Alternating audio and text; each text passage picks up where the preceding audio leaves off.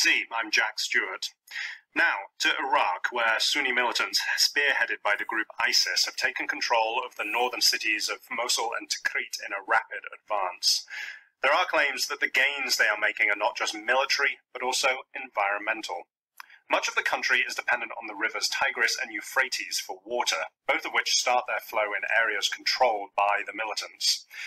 The UN declared water a weapon of war just last month. Could we see it being used that way in Iraq, with either supplies limited, dams destroyed, or areas deliberately flooded? We asked two people who are experts in this field for their views. Dr. Mark Zeitoun is from the School of International Development and Water Security Research Centre at the University of East Anglia in the UK. And first, Dr. Kaveh Madani from the Centre for Environmental Policy at Imperial College London. Tigris and Euphrates essentially uh, have major tributaries in different countries in that part of the world, so they're considered to be transboundary river systems. And whenever we have transboundary river systems, uh, reliability of water deliveries would be put into question. So this system is shared mainly by three countries, Turkey, Iraq, and Syria. And the countries have gone through a lot of tensions over and discussions and negotiations over how to share these resources. So over 98% of the surface of water of Iraq is coming from these rivers and essentially when there is development upstream, there are problems for Iraq, which is mainly a downstream player in this system. And Mark, what's the current situation? How secure is the supply of water coming down these rivers? Iraq is downstream, and that makes them vulnerable to whatever the upstream states want to do. And, and th- this point in history is really interesting, to say the least. It's a bad situation for Iraq now. Iraq completed its hydraulic mission, that is to say, its provision of water through large water infrastructure, you know, decades ago, and has been doing it for thousands of years, of course, as ancient Mesopotamia. But more recently, the upstream states, in particular Turkey, and also Iran, the tributaries to the Tigris River, both heavily engaged in big infrastructure projects, large dams, and projects that will and have already disrupted the water supply to Iraq. So Iraq as a state, and in particular Iraqi farmers, very vulnerable to the upstream development, particularly so at this point in time when the country is so divided internally. And now we're actually seeing those internal divisions with ISIS actually, uh, according to some reports, trying to use water as a weapon. Using water as a weapon is nothing new. It's happened uh, every time it's uh, it can be used as a weapon. The Ba'ath regime drained the Iraqi marshes famously, and it happens in most conflicts throughout the world. Actually, I wouldn't be surprised to see water continued being used as a tool of war. Because these rivers uh, come through the north side of the country, which is the area that ISIS has the most control over at the moment. So I suppose it's logical to think that perhaps they have control over the rivers too.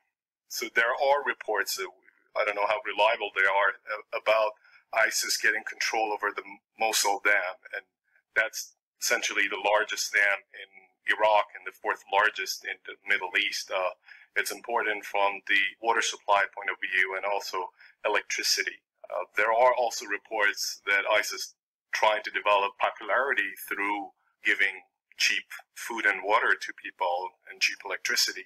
So essentially, this can be a tool to essentially threaten the like the Malikist regime at, at any point, and also developing popularity at a local level. So this is interesting because the 2013 report by the U.S. intelligence community was suggesting that water could be a source of regional destabilization as well as a political tool or target for terrorist attacks. So we are not sure that this is what's happening exactly, but it can be a strong tool to establish some power and create some pressure. And also when we are talking about water, we're talking about food, we're talking about energy and all these because they're highly interlinked. So water is a tool to create power and getting bargaining position and developing some negotiation power.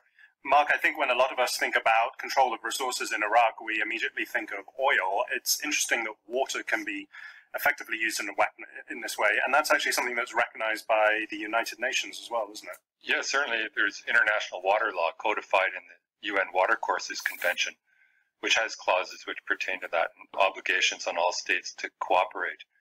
There's an important distinction that we should make between oil and water. let's say oil is certainly an object of war, and wars will be fought over oil, and indeed the Iraq War was chiefly over oil. Water is not so much an object of a war, but certainly can be used as a tool of, of war. But as we've said, in, in, the control of the Mosul Dam, then that, that's a great case in point. But even then, it's not that easy to control. It's it's really not a question of like turning on or off a valve, for instance. You need a lot of capacity. You can't just stop a river completely and, and dry a whole river out because the water would back up behind the dam. So it's it's not that simple. It's not quite as uh, acute or a, a, tool of war as is oil, let's say. This Mosul Dam uh, is on the River Tigris in the, the north of the country. Are there other important dams or bits of infrastructure that could potentially fall under control of ISIS as they move down through the country? There are some other dams on the Euphrates downstream, uh, closer to Baghdad, and on the Diyala River and what have you. Like I said, I don't think ISIS taking control of each of these bits of infrastructure will automatically give it some leverage. And just keeping the services or keeping the river and the infrastructure running as they are, they will gain popularity amongst the people. I would say more than they can actually put pressure directly on uh, the regime they're they're trying to topple. Dr. Mark Zeitoun there from the School of International Development and Water Security Research Centre at the University of East Anglia in the UK, and also Dr. Kaveh Madani from the Centre for Environmental Policy at Imperial College London on the possibility of water being used as a weapon in Iraq. They do